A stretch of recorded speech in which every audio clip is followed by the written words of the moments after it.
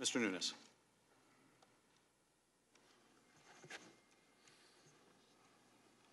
Yield to Mr. Ratcliffe. Ambassador Sondland, I'm going to try and uh, quickly move to uh, summarize all of your direct communications with President Trump as it relates to this inquiry, and of course, you can correct me if I get it wrong. Um, on May 23rd, you had a group uh, meeting that included a, what you called a vanilla request about uh, ending corruption involving uh, Ukrainian oligarchs, correct? Correct. On July 25th, you called President Trump to say you were on your way to Ukraine, but nothing of substance occurred on that call, correct? Correct. On July 26th, you had a five minute call at a restaurant that you didn't originally remember because it, according to your statement this morning, quote, did not strike me as significant at the time, end quote, but once refreshed, recalled that it, the primary purpose was a, a rapper named ASAP Rocky, correct? Correct. And on September 9th, and most importantly, uh, reading from your uh, deposition, you called President Trump to ask him, What do you want from Ukraine? He responded, I want nothing. I want no quid pro quo. I want Zelensky to do the right thing. I want him to do what he ran on. And what he ran on was fighting corruption, correct? Correct. And then lastly, on October 2nd, in a random in person uh, meeting that you had at an event for the Finnish president, you ran into President Trump and advised him that you'd been called to testify before Congress, and he said to you, Good, go tell the truth. That's correct. All right, and that is the entirety of your recollection of your direct communications with President Trump about these matters. I may have had another call or meeting or two. I, again, I wish, Mr. Ratcliffe, I had the record.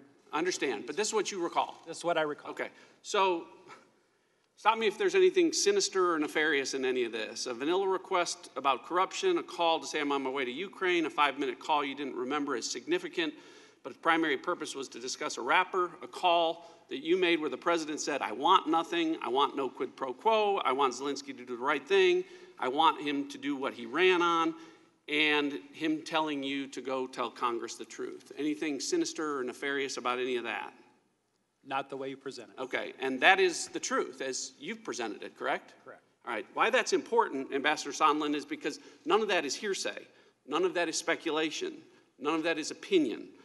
That is direct evidence. Uh, and ultimately, that is what, if this proceeds to the Senate, they're going to care about. Unlike this proceeding, which has been based on largely speculation and presumption and opinion, this is direct testimony and direct evidence. And to that point, none of that included evidence about the Bidens, and none of that included evidence about military assistance because President Trump never m- mentioned either of those to you, correct? That's correct. All right. So going back to the July 26th uh, call, because it's going to be a spectacle tomorrow, you didn't remember it because it didn't strike you as significant at the time.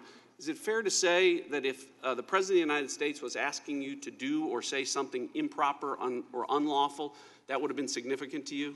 Yes. All right. And if that call was part of a bribery or extortion scheme that you were part of, as Democrats have alleged, you'd remember that as significant, wouldn't you? I was not a part, and I would have remembered. I understand that, and I agree with you. Um, uh, let's turn to quid, the quid pro quo because it's been reported in the papers that this was blockbuster testimony today about quid pro quo and new evidence. To be fair to you, Ambassador Sondland, according to your statement today, as you say on page 14, as you testified previously, this was uh, your opinion that there was a quid pro quo, correct? The uh, 2016 Burisma and the, uh, excuse me, the 2016 uh, election and Burisma in return for the uh, White House meeting. That's Right. correct. So um, you've shared that before. Um, to that point, to be clear again, on the part of it that relates to military assistance, though, you don't have any direct evidence from President Trump about that part of it. That, that, that, that's your two plus two part of the equation, right? The presumption. Correct? That's correct. All right. And you understand also that um, others disagreed. Yesterday we heard from uh, Mr. Morrison, Ambassador Volker. They testified that they didn't see a quid pro quo. Do you understand that? I understand that that's what they said. Okay. said. That reasonable people could look at all of this and come to different conclusions. Correct? Correct. I yield back.